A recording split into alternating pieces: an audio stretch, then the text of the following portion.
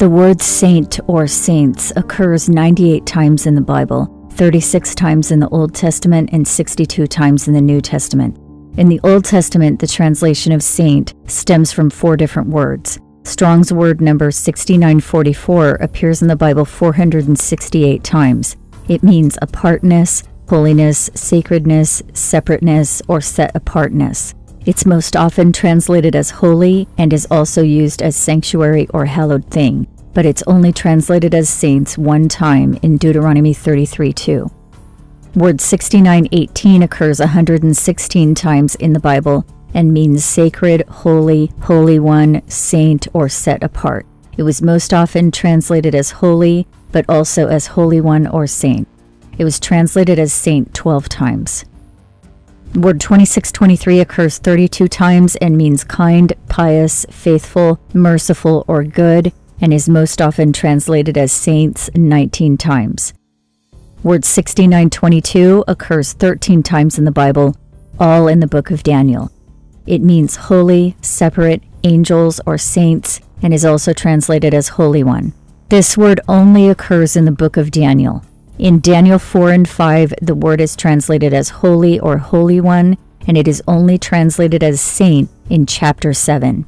This is important because the Daniel prophecy concerning the final time of trouble is partially explained in chapter 7. It says the little horn makes war with these saints, prevails against them, wears them out, and they will be given into its hand for a time, times, and half a time. So, who are these saints? and when are they given into the hand of the little horn? The first rule the book of Daniel teaches us is that each character in the prophecy represents something else. A goat does not actually represent a goat, it represents Greece. The bear and the leopard do not represent animals, they represent governments. The head, belly, and legs of the image do not represent actual body parts, they represent periods in history. This is possibly the most important rule in the book of Daniel. Every character mentioned represents something. We've already identified many of these characters.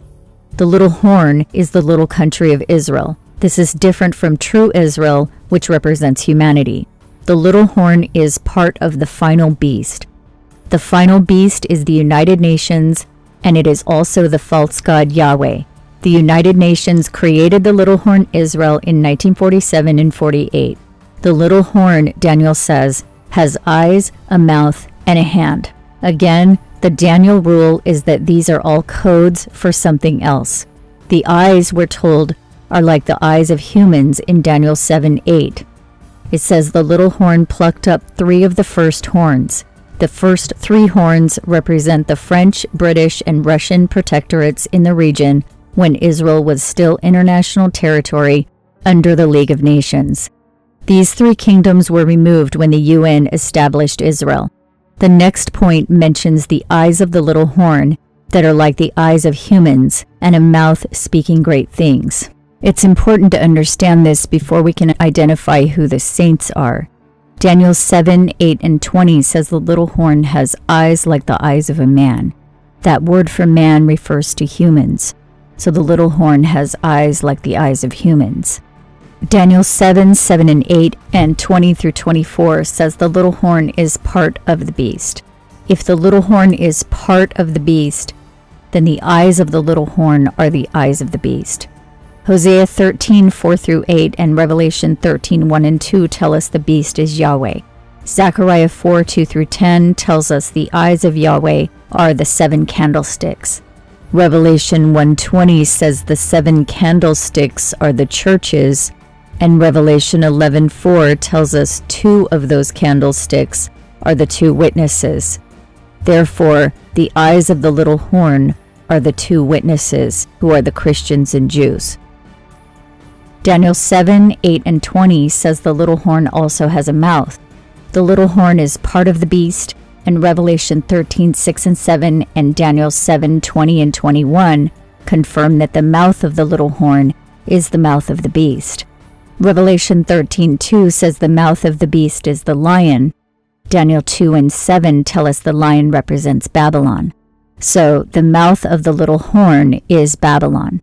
Babylon the Great is also the religious empire.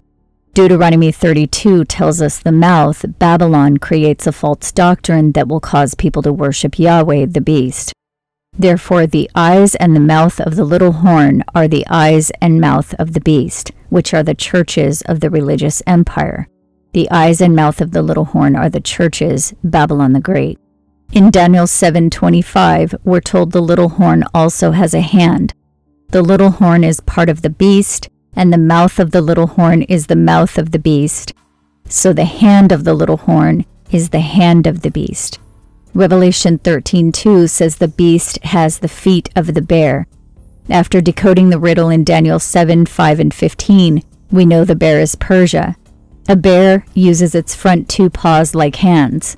The hand of the beast is actually a bear paw, and the bear is Persia.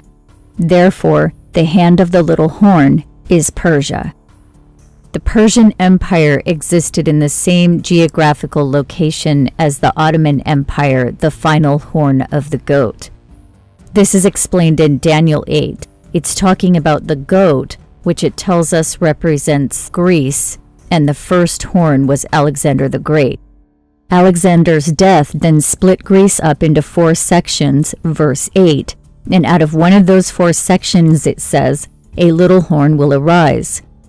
The four sections were Ptolemaic Egypt, Seleucid Mesopotamia, Anatolia, which was in Turkey, and Macedonia, which was Greece. Each of these four horns represents a large empire of history ancient Mesopotamia, ancient Egypt, and ancient Greece had already risen. But the Turkish Empire did not rise until 1299 CE. This is explained in Daniel 8 22 and 23. In the latter time of those four kingdoms, a king of fierce countenance shall rise and destroy by peace. The Turkish Empire rose up in 1299 and it fell in 1923. The king of fierce countenance was the League of Nations, which rose up in 1920 at the latter end of the Turkish Empire. The League of Nations then became the United Nations. Daniel 8, verse 24 says this king will destroy the holy people. This is word 6918, which also means saint or set apart. This is the king that created the little horn. In fact, it is the little horn. Israel was international territory belonging to the League of Nations before it was declared a state.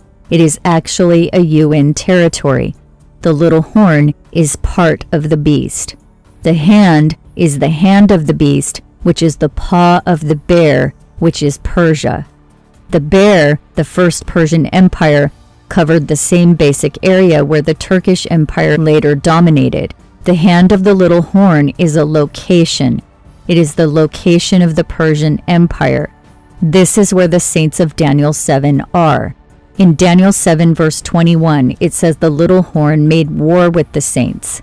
Then in verse 25, it says the little horn shall wear out the saints of the Most High, and they will be given into his hand until a time and times and the dividing of a time.